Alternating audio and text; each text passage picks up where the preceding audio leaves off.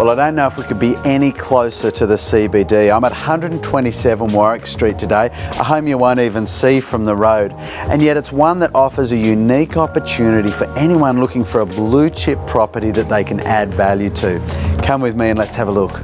Well, the home's been in the family for generations and it's essentially in original condition, with the downstairs consisting of a spacious lounge which opens to a formal dining room, along with a main bedroom, bathroom, and the country styled kitchen.